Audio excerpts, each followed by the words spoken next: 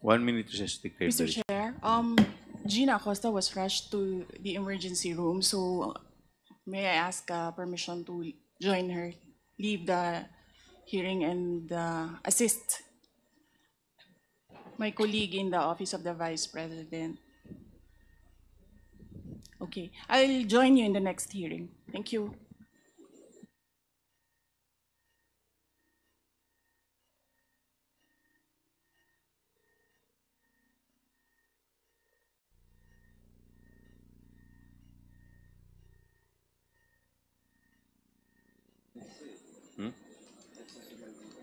Mr. Ses- Chair, Session resumes. I believe that I have no more questions to raise at the moment. So I'm yielding to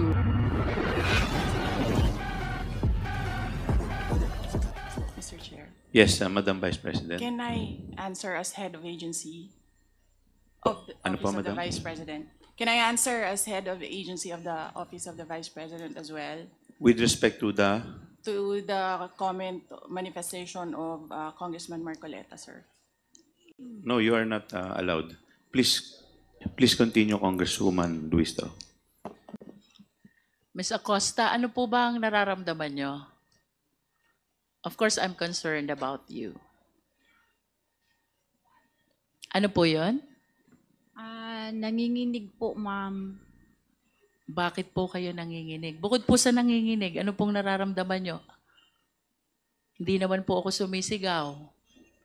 Kasi po, wala po talaga akong alam kung sino po yon si Kukoy Villamin, si Grace Pato, Piatos po. Kasi po, si Sir La Chica po ang nasa ground po. Siya po ang nagpipipirma. Nag-base na lang po ako sa sinaol, sa binalik niya sa akin na acknowledgement receipt po, ma'am. Pero ma'am, I hope you acknowledge na yun pong sinasabi niyong ginawa ni Colonel Chica. Yun po'y trabaho niyo as a special disbursing officer. Yes, ma'am. Pero may utos po ang aking boss, ma'am, na i-release ko po kay Sir La Chica, ma'am. I heard you, ma'am. Yes, ma'am. We will just proceed with the question. Tell me pag hindi niyo na po kaya, I will stop. Ano po? You just answer from what you believe is true to yourself. Yes, ma'am. Punta po tayo kay Kokoy Villamin. Do you know this person? Wala po talaga akong alam, ma'am. Wala po kayong alam. Yes po, ma'am. Surname Villamin. May kilala po ba kay sa Davao na Villamin? Wala po akong alam, ma'am. Wala po akong kilala, ma'am. Okay. So you cannot answer with respect to the identity of this Kokoy Villamin. Mr. Chair, do we have the NBI here as well as the PSA? They are not yet here. Not yet here. But I believe that We have submitted the uh, acknowledgement receipt. In process daw po. Okay.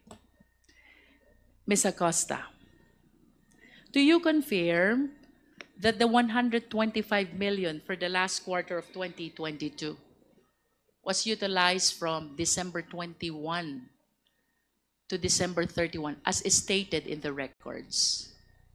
Yes, ma'am. Based po sa binigay sa akin ni Sir La Chica Okay. na accomplishment report at saka acknowledgement receipt po. Ms. Acosta, this is 125 million spent in, I believe 10 days nga po ito eh. Hindi 11 days.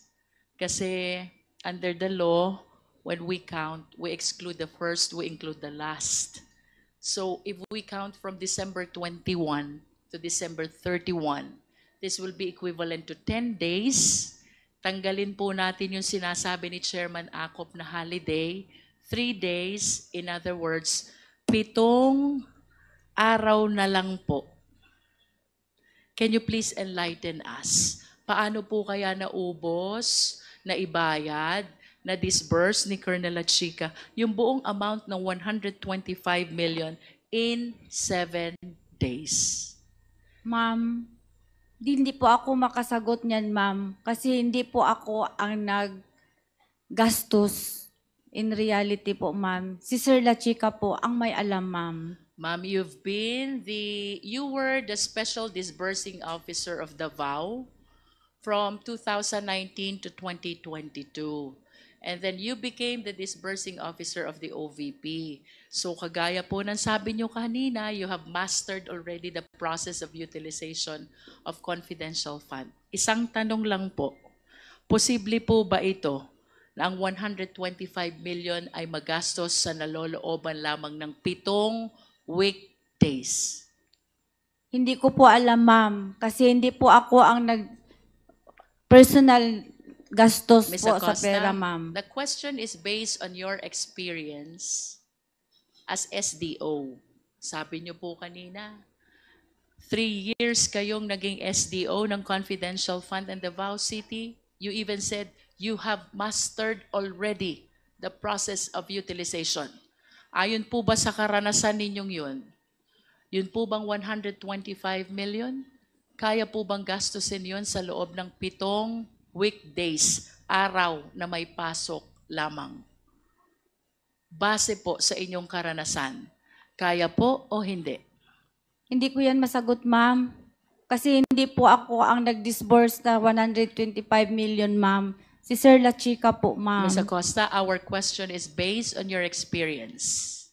Hindi po ganun ang ang, ang confidential fund sa Davao, ma'am. Hindi po ganun kalaki, ma'am. In other words, ayon po sa inyong karanasan bilang confidential fund ng Davao 2019 to 2022, hindi kaya gastusin ang 125 million in 7 days. Tama po ba?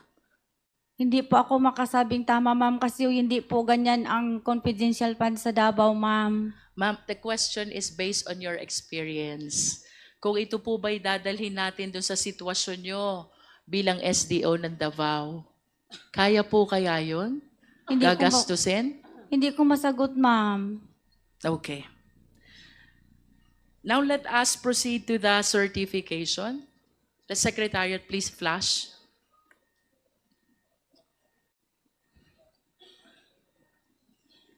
May we know, Ms. Acosta, who prepared the certification? Secretary, please flash the document.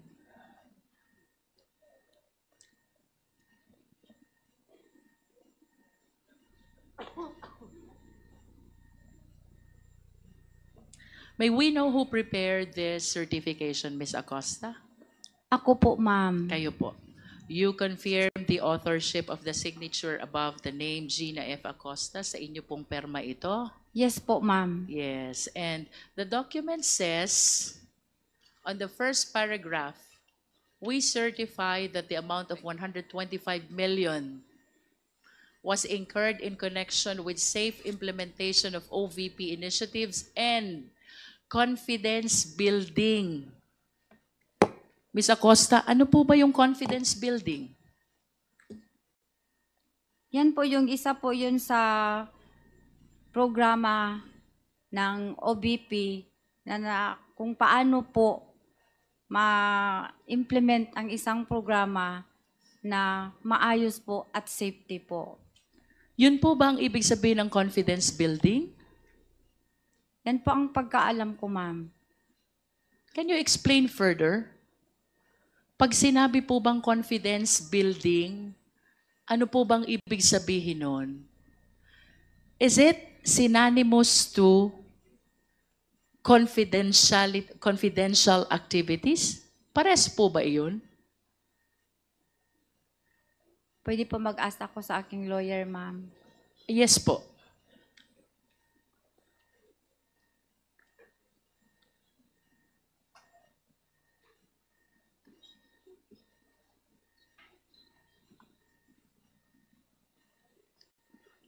Secretariat, can we provide a copy of the certification to Ms. Acosta?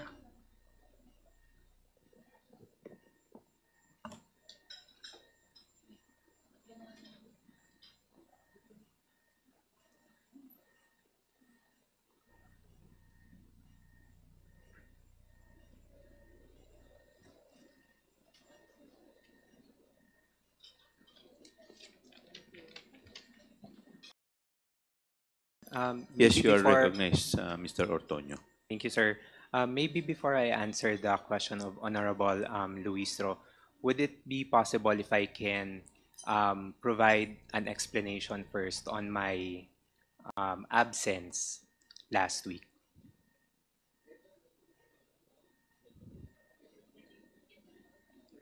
Uh, Mr. Chairman, yeah, it's all about, uh, Congressman supposedly, it's all Paduano. about admin matters, so we'll discuss this later, especially Mr. Tenorio is under contempt, no? Ortonio. So, Ortonio, uh, I mean, uh, is under contempt. Yes. Just answer Thank you, the Mr. query Chairman. of Congressman Luistro.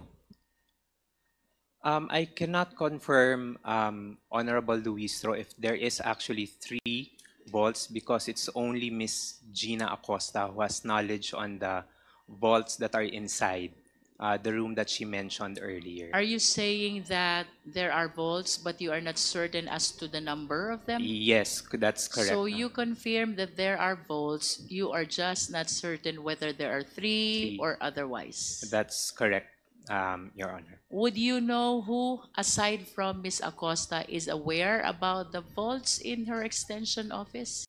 As far as I know, um, Your Honor, it's only Miss Acosta. It's only Miss Acosta. But how then did you get an idea that there are vaults, only that you're not certain about the number?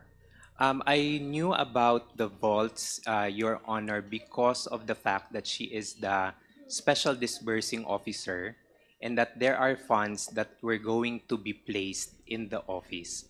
Is That's as far as I know. Is it automatic that if the person is the SDO, she has to be in her custody vaults where he, she can secure the money? Uh, yes, that's my understanding po. So, are you inclined to believe na ang mga SDO, eh, normally, they're keeping vaults inside their office? It can be keeping vaults, Your Honor, or cash, parang cash register, or a safe place where they can uh, place their um, the money that they are that are entrusted to them. Mr. Ortonio, since you were named by Ms. Acosta as the one who was with her during the time that she encashed the check, can you please walk us through? Paano po ba kayo nag-encash ng cheque? Let's start with, Um, paano ho nakapag-prepare ang Land Bank Show Boulevard that amount of 125 million, which I believe is beyond the normal cash that they're maintaining in their vault? Based on the information that I know of, um, first is that uh, the cash division informs Ms. Acosta that the check is already available and that it's ready for encashment. Who heads the cash division? Um, at that time, um, it's Miss Carmelita Warren. po. Carmelita Warren. Okay. Please proceed. Yes, after the information to Miss Gina Acosta that um, there's already a check and ready for encashment. Um, at that time, nung first time that she withdrew the money, she messaged me. Uh, she approached me, sorry. She approached me and then asked if I can accompany her. And then um, How many times have you accompanied Miss Acosta? as far as I can remember, in all of the um, in all of the withdrawals that she have, uh, the times that she withdrew money from the bank. So since she is an SDO for confidential fund, you're referring to the withdrawals of confidential fund. Yes, that's correct, Your Would Honor. it be correct to say that for the OVP, apat na beses mo siya sinamahan? And that pertains to the 125 million of the last quarter of 2022, and then 125 million each for the three quarters of 2023. Yes, that's correct, Your Honor, as far as I can remember. And would you confirm kung itong apat na checking ito, lahat sa Land Bank Show Boulevard na in cash? Yes, that's correct, Your Honor. Okay, let's go back to December 20, 2022. Anong oras nyo po nakuha yung cheque sa cash division? Um, I do not know what time Miss Gina was able to get the check from the cash division. It's Miss Gina po who uh, got the check from the cash division. What time did you leave for Land Bank Show Boulevard? If I can remember it right, um, during that occasion, um, we left the office in time that when we arrived at Land Bank, parang towards the end of the banking hours already. So maybe So around that 3 is o'clock. 3 o'clock. Around 8, 3 o'clock. 3 o'clock. And how long did it take before the bank teller was able to encash the 125 million? Uh, based on my recollection, upon arrival at the bank, the money is already available, but um, it took a little bit of time just to count the money. So can you please enlighten us? From 3 p.m., anong oras po kayo natapos? More or less, siguro, Your Honor, maybe after 30 minutes. So maybe. 3.30. At 3.30, tama po ba sabihin, yung pera nasa loob na ng apat na malalaking bag? Um, yes, by that time. 3.30. Yes. Per my recollection, but I cannot be exact on the time. Mr. Ortonio, uh, I believe that may we know where where the OVP's office is? Uh, it's in Mandaluyong po. Mandaluyong. How how close is this to Shaw Boulevard? Shaw Boulevard, uh, Land Bank Shaw Boulevard to the office around 20 minutes. So probably. 20 minutes? Yes. So tama yung sinasabi ni Ms. Acosta that around 4 p.m. they've arrived already at the office Office. That's correct. and she placed all the money inside her extension office. Balikan po natin yun sa bangko. There are contradictory statements po. Ang sabi po ni Ms. Acosta, tinulungan po sila ng mga security guard magkarga ng apat na bags sa inyong dalawang sasakyan. Which earlier, the bank manager and the security guard during that time denied. Ano pong totoo, Mr. Ortonio? Um, based on my recollection, Your Honor, what I can remember is that uh, Land Bank Shaw was able to provide a parang um, yung parang trolley and then they helped us put it in the parang trolley and then wheel it out of um, the bank. That's what I can remember. So there are three versions now. Miss Acosta's version, tinulungan ng security guard magbuhat. The security guard's version, hindi tinulungan. And your version, you were provided with trolley. That's what I can uh, remember. Assuming, Mr. Ortonio, that there is really a trolley, sino pong nagbuhat papunta sa trolley? Again, uh, as I can remember, it's coming from Land Bank po. That's what I can So- remember. You are saying that there were people from Land Bank who helped you put all these bags on the trolley? That's what I can remember. And then what did they do with the trolley? Uh, they wheeled it out of the bank and then helped in transferring to the vehicle. Who actually placed the bags from the trolley to the vehicles? Unfortunately, Your Honor, I could not remember. Um, at the time that it was placed inside the car, I think I was still inside the bank. So I really could Why not were you remember. inside the bank? Um, at that time, Your Honor, if I can remember it right, I was having a little bit of conversation with um, Miss Violi, Who is Miss Violi? uh, the The land bank manager. And will you be generous enough what what you were conversing during that time? That is have something to do with how you will carry the bag to the vehicle? Um, I cannot recall anymore the conversation that we've had. Yes. How many bags were placed in the car where where you seated? Um, all four bags were placed inside the car that I rode in. Is that so? Yes, that's correct. That's another contradiction to the statement of Ms. Acosta. Um, Your Honor, um, if I may, um, if my memory serves me right, um, Miss Gina wasn't able to mention where the bags were placed. No. What she said, kung ma-hold up yung isa, may tira pang isa. Which leads me to one conclusion that the four bags were parted between the two vehicles. Otherwise, she will not be saying na may matitira pang isa kung sakaling ma-hold up yung isa. I'm just trying to manifest the contradiction in your statements. Yes. Um, But I uh, don't mind really if that's what you recall. Yes, um, respectfully, Your Honor, that's what I recall. And um, Ms. Gina wasn't really able to mention which vehicle the bags were placed.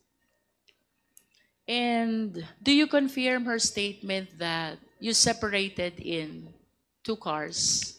Yes, that's You seated correct. in one car and you seated in the other car.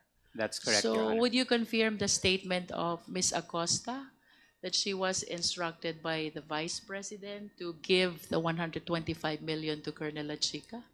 Unfortunately, Your Honor, I am not privy to that um, arrangement between Ms. Acosta and um, the Vice President.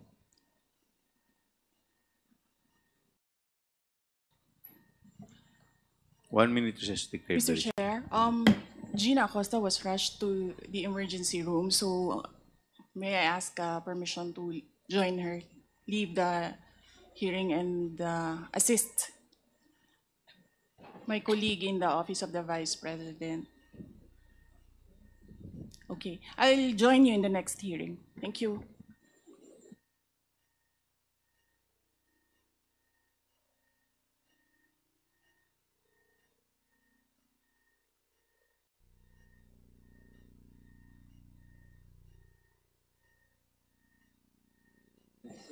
Hmm?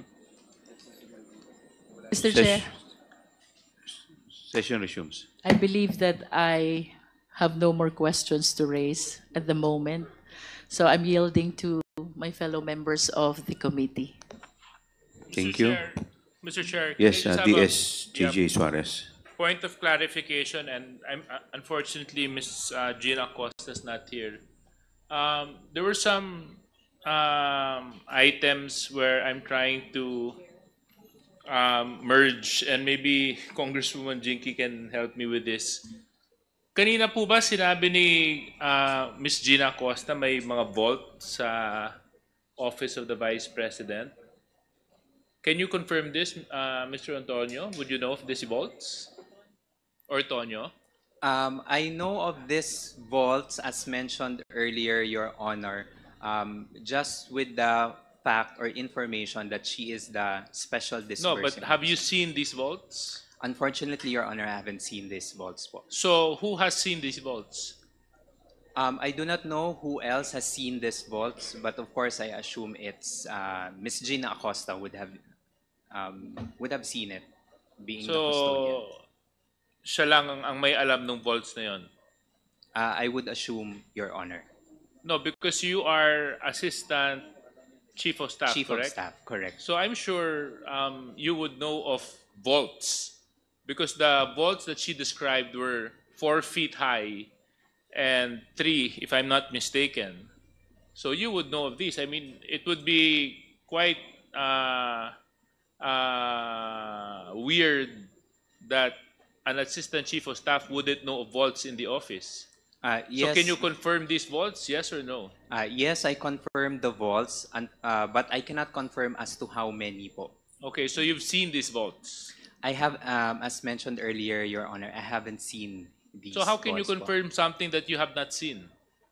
Uh, based on the information that was shared, um, that was shared to me po. By whom? Yeah.